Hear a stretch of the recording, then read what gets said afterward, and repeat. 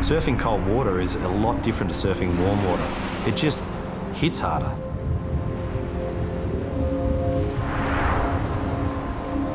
Cold water will actually restrict your breathing a bit, so when you get smashed by a big wave, you'll run out of oxygen.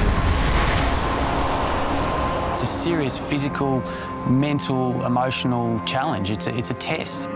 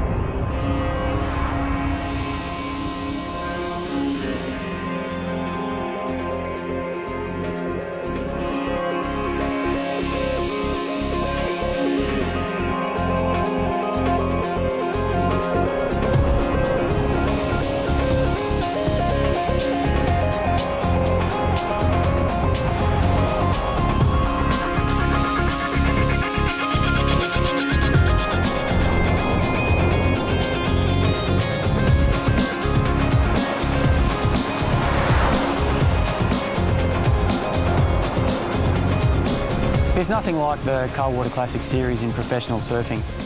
The whole concept of it is sort of completely different to regular WQS events, which are held in small waves and um, sort of summer conditions, and we always end up with tiny little waves to surf. It frustrates a lot of the guys on tour when we're chasing the sun and we've got tiny waves. Like, I'd rather it raining and onshore and eight foot than one foot and sunny.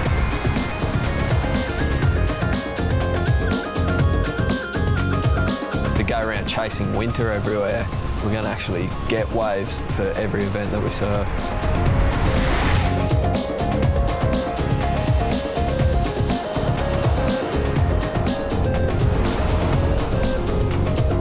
The cold water series being as mobile as it is is great because less structures built up in places which kind of can be a bit of an eyesore and it gives us the opportunity when we do get these big storms to come in to pick up everything, move it around the corner, you know, to a more sheltered location with better quality waves.